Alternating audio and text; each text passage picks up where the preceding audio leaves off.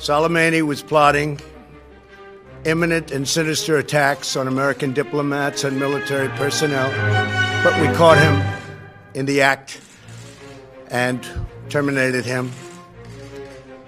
Under my leadership, America's policy is unambiguous.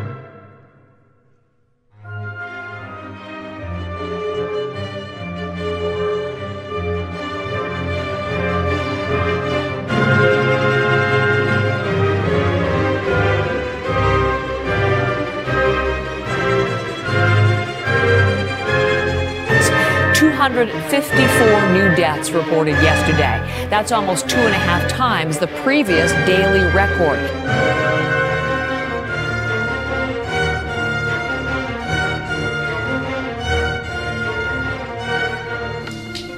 We have therefore made the assessment that COVID 19 can be characterized as a pandemic that's what's really worrying is how quickly this has exploded. We've gone from like less than five cases at the end of last week to these 200, 219 confirmed just now, of which five people have died already. Some 10 towns at the very least are under this quarantine with 50,000 people here in northern Italy, essentially trapped inside their towns and villages. Now, what overseas, the numbers from Italy tonight only worsening. In fact, this was the number today 627 people dying in just the past 24 hours, the worst yet.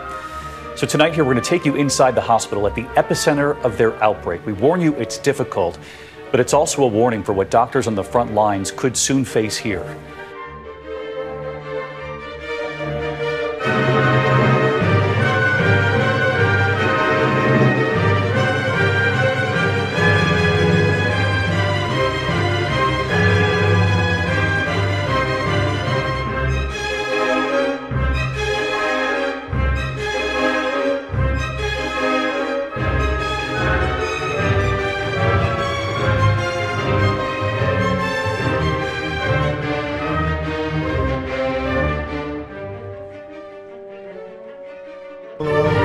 Recuperating successfully, but we're working very closely with China and other countries, and we think it's going to have a very good ending for us. So uh, that I can uh, assure you. We are seeing the epicenter of the coronavirus outbreak shift here to the United States. The human crisis continuing to unfold, though, in Italy and in Spain.